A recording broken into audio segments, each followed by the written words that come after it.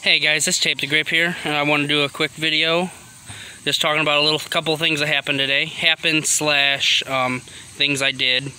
Um, well, anyway, first of all, I bought me three sodas. Um, the, what is it, Vanilla Coke. I'm sorry, I couldn't think of the name for a second.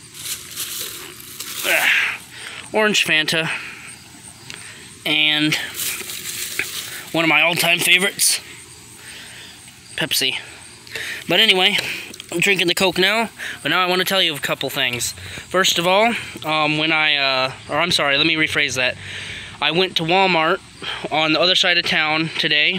Um, well, anyway, I waited 30 minutes in line to try and cash my check, only for them to tell me, sorry, we ain't got enough change to give you, so I had to go back to this Walmart that's near me. I was already on that side of town, that's why I went to the other one. But anyway, waited in line there, finally got my cash checked. I'm sorry, my check cash, not my cash checked. but anyway, and then one really sucky thing that happened, or two sucky things that happened. It wasn't today, but it was uh, a couple days ago. First thing is the lawn or the washing machine. I was to say the laundry machine. The washing machine broke, so we don't got one of those for now.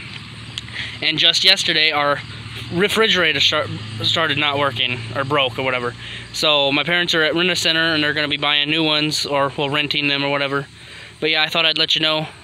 Um, just random shit. What my channel's about. But anyway, yeah. I'll see you in the next one. Bye.